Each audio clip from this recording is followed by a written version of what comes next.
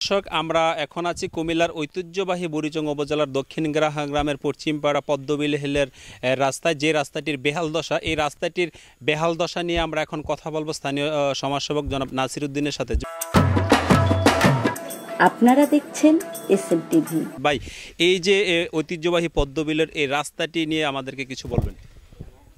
এই যে গেছে বছর সেপ্টেম্বর মাস থেকে যেহেতু পদ্মবিল দেখা আরম্ভ হয়েছে, তো রাস্তাটি মানে বেহাল দশা, সেই জন্য দক্ষিণ দক্ষিণগ্রাম পশ্চিমপাড়া সমাজ কল্যাণের পক্ষ থেকে চাইতেছি যেহেতু আপনার পর্যটক বেশি পরিমাণে আসতেছে, রাস্তাটি যেন খুব শীঘ্রই মেরামত করা হয়। তাছাড়া পদ্মবিলটাও যেন সংরক্ষণের জন্য ওই সিস্টেমটা করে দেয় আর কি। প্রশাসনের সহযোগিতা প্লাস যেহেতু আমরা ইউনিভার্সিটির প্রফেসরকেও সহযোগিতা করি প্লাস প্রত্যেক মিডিয়াকেও সহযোগিতা করি, সেই হিসাবে আমাদেরকেও ওই জন্য প্রশাসন বা ইয়া সহযোগিতা করলে আমরা জিনিসগুলো রক্ষণাবেক্ষণ খুব দ্রুত গতিতে রাখতে পারব, দেখতে পারব।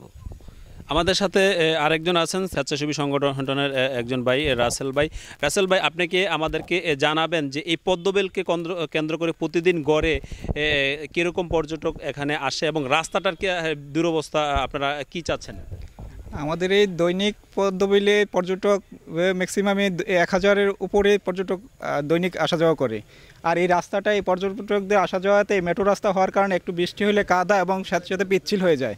যেটা অনেক সময় দেখা যায় যে অনেক যে পর্যটক এখানে পড়ে যে যে তার দুর্ঘটনা ঘটে এবং এই যে দুর্ঘটনা থেকে হাত রক্ষা পাওয়ার জন্য আমাদের স্থানীয় প্রশাসন এবং আপনাদের যে যে মিডিয়ার মাধ্যমে যাতে আমাদের রাস্তাটা সংস্কার করে দেওয়া হয়, এই জিনিসটা আমরা চাচ্ছি।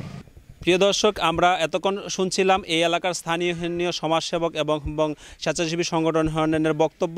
তারা যেমনটি দাবি জানিয়েছেন যে এই রাস্তাটি দ্রুতই যেন সংস্কার করে দেওয়া হয় তাহলেই কিন্তু প্রতিদিন যে পর্যটন আসছেন তারা আহ, দের দুর্ভোগ লাভ লাঘব হবে এবং নতুন নতুন পর্যটক এই এলাকায় আসবে এবং এই এই পদ্মবিলের সৌন্দর্য উপভোগ করতে পারবেন পর্যটকরা।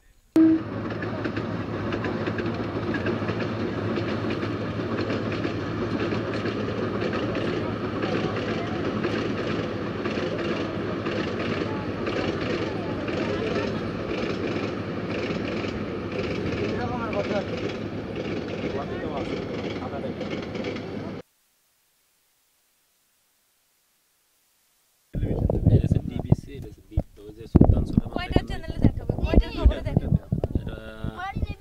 ফেসবুকে দীপ্তি টেলিভিশনের পেজ আছে ওখানে এই আমার ছবি নিবি না? এই আস্তে আস্তে।